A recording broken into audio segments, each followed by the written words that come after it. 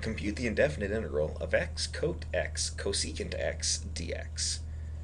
So the first thing we got to do here is prep this a little bit. This is the cotangent of x and the cosecant of x. Now notice that it's a product of very simple functions, which would suggest that a u dv integration by parts approach would yield some utility. Notice that x is just an algebraic part, and the rest is trigonometric. So we would want to set the algebraic part to u and the trigonometric part to dv.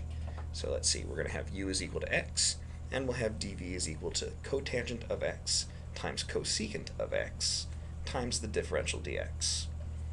Alrighty, now let's differentiate. The derivative of u is going to be 1, or if we multiply through by a dx, we get du is 1 dx. And next, let's integrate the differential on both sides. So the we're going to have v is equal to, the antiderivative here is negative cosecant of x.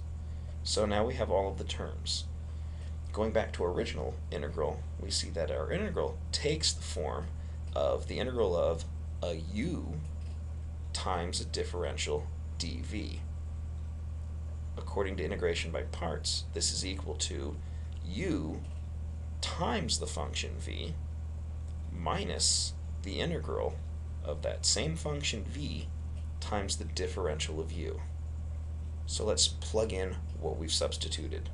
So for u, we'll replace with x. dv we'll replace with the negative cosecant of x. And then we're going to subtract the integral of, well, that negative cosecant of x again, times the differential du, which is just 1 dx. So let's clean up what we've got here. We've got negative x times the cosecant of x. And then we are adding, negative, negative, the integral of cosecant of x dx. Now this last guy is on our list of 20. So let's see, we're going to have minus x times the cosecant of x. And this integrates to negative the natural logarithm of the absolute value of the cosecant of x plus the cotangent of x. There's one antiderivative, add a c, and we have all our antiderivatives.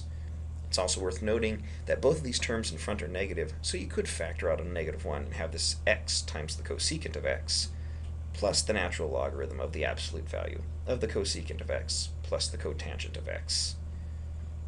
And this whole expression added to a c. Either one of those is legit.